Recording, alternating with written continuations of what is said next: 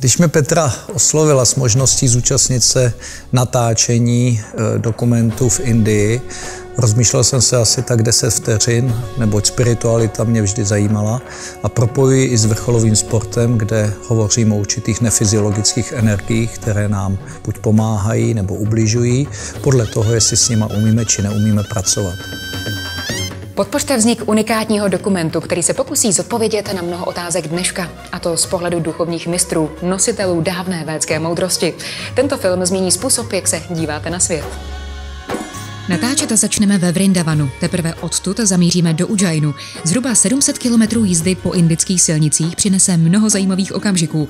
Navštívíme posvátná místa a ašramy. Další dobrodružství začne v Ujjainu na Kumbamele.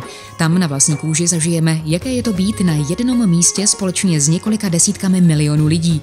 Postoupíme zde také rituální koupání v posvátné řece Šipra, která je symbolem pro čistotu duše, těla i emocí.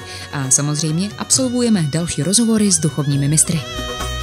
Do Indie se moc těším a doufám, že tam dostanu mnoho odpovědí na své nesčetné otázky. Láká vás představa, že by mistři zodpověděli i tu vaši?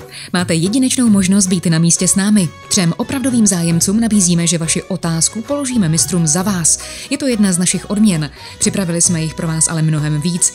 Například můžete získat lístek na premiéru dokumentu, materiál, co se do filmu nevešlo a že toho nejspíš bude.